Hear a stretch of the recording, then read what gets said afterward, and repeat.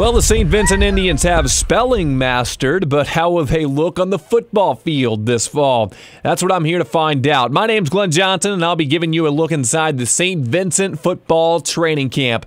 After a strong start last year, the Indians finished on a three-game losing streak to end at four and six, missing the playoffs for the second straight year. Head coach Paul Sauer says finishing games was the issue. As the season progressed, you know, our uh, we were probably uh, one of the best first or second half teams I've ever had. You know, it seems like we could only play 24 minutes, and of course, the ball games are 48. So, uh, you know, it just seemed like we couldn't finish the game. Our six losses, well, we were leading in three of them at halftime. So, you know, if we could hold on to them, obviously it's a much better season. One of the team captains is Dylan Rischerity, who was frustrated by last year's failures late in games. Well, we got to quit giving up we get a touchdown or two deficit, and we just we're done. We can't we can't do that, and I mean, we just got to push through it and find a way to win games this year. And team captain Jesse Francis is a wide receiver and defensive back, and he was another one of the team leaders with a bitter taste in his mouth. I asked him how to fix their biggest problem. You just play hard. You play through the whole game. You don't give up in the first half. You play through the second half all the way through. You don't quit. Many of the players on the team feel that this group has turned the corner and will close out games better this season. Lucas Carroll is a senior offensive and defensive lineman. He says if the offseason is any indication, then they'll be much improved. We need to keep up the intensity we had in the offseason. We did really good in the offseason. We are in the weight room, we ran, we sprint.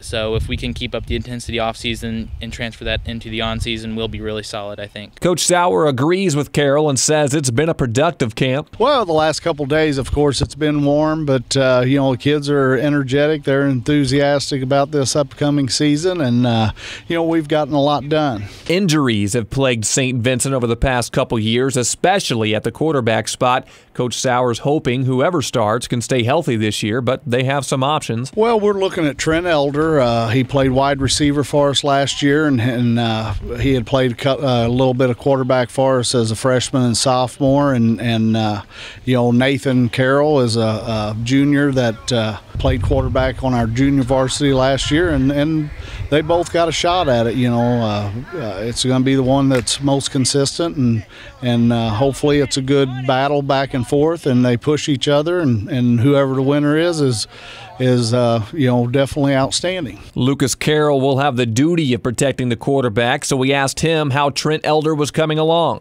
He's been doing real good. He gets out there and he throws the ball a lot. He tries real hard. He's a solid athlete. I think that we're going to get good things out of him this year. As far as the backfield goes, Dylan Rischerity is the fullback in Coach Sauer's offense, and he believes the touches will be spread around. Well, Coach Greg says that it'll be more balanced between me and Alex Winkler, and obviously we're going to have a lot of passing too, so I think we'll be balanced overall. And while Winkler may be the favorite to start at tailback, Coach Sauer says that's actually one of the more intriguing position battles this summer. Well, you know, I see us, uh, you know, a battle for a starting job as a, a tailback. You know, we've got uh, quite a few kids. Uh, Alex Winkler uh, that played a little bit last year, Dylan Rischerity at fullback, and and uh, Levi Gottel and uh, Lucas Janet, a, a, gentleman that started with us last year and and ended up. Uh, decided not to play last year, and, and he's back at it this year. So hopefully, uh, you know, we have a really good battle there for the starting tailback job. It all starts with the offensive line, though, and St. Vincent has been notoriously small along the line for, well, ever. Senior Lucas Carroll says what they lack in size, they make up for in quickness. That's exactly what we're thinking. We're going to try and use our speed in order to get quick punches in and drive them back, beat them off the ball and use that to our advantage. And then there's the defensive side of the ball. Coach Sauer's liking what he sees early on. Defense tends to usually be ahead of the game uh, when you start start the season. So, you know, we're we're hoping that we can be pretty tough defensively at the start of the season. Most of the senior leadership for St. Vincent is on the defensive side of the ball, including Dylan Rischerity, who tells us just what kind of safety he is. More of a coverage, I think. I mean, I'm not the hardest hitter. I won't put anybody on their backside, but I'll get the job done, hopefully. Another defensive back is Jesse Francis, who relishes his role as a leader in the defensive backfield. He tells us how he's set an example for the younger guys so far this summer. Work hard and show that you can work hard. Let them see you, even as younger players.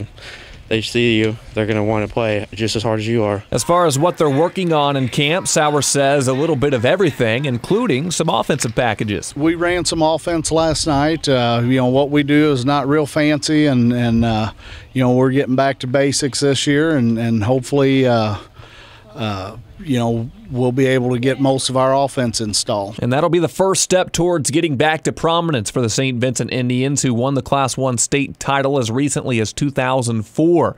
Their success has made them a football school, and Lucas Carroll is proud of that. We take a lot of pride in it, and we try and make sure that we can get the fans involved and try and keep everybody happy in the school. You can hear more from St. Vincent during the Pigskin Preview coming up on Wednesday, August 22nd, where we talk to each of our area coaches one last time before the season starts on the 24th. For Regional Radio Sports, I'm Glenn Johnson.